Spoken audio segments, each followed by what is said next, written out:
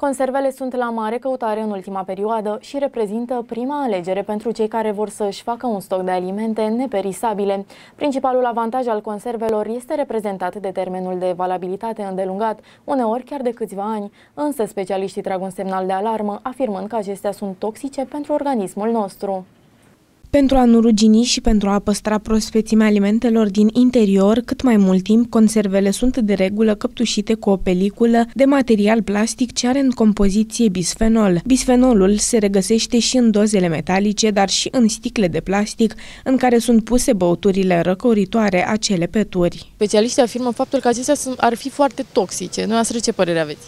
Păi cred și eu tot așa, da, că sunt uh, puse tot felul de substanțe ca să țină, să nu se strice și cele mai bune sunt cele făcute de gospodin acasă. Da. Dumneavoastră consumați conserve? Nu, făcute de mine, da, dar din comerț nu prea iau. Studiile au demonstrat că bisfenolul se transformă ușor din materialul plastic în alimentele din cutii, sticle și ajung astfel să intre în organismul uman. Păi nu numai conservele, asta cu conservele, eu nu știu cum să află tocmai acum. Pentru că dacă institutul de statul nu mai funcționează, cine? Mâncăm tot ce ne dau prietenii noștri europeni. Nu mai controlează nimeni. Deci, scurt și cuprinzător. Potrivit mai multor experimente efectuate, cantitatea de bisfenol din sânge crește și de 20 de ori după consumul unei singure conserve. Conserve toxice s-a demonstrat că bisfenolul influențează activitatea glandelor endocrine. Se poate ajunge astfel la dereglări hormonale deoarece nivelul hormonilor din organism este modificat.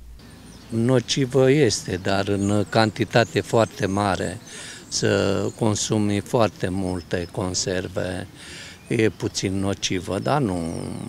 În general, uh, uh, oamenii nu mănâncă zi de zi conserve și ca atare nu este nocivă. Dar așa este știrea că conservele, n-au spus în cantitate mare, foarte mare, sunt, sunt nocive.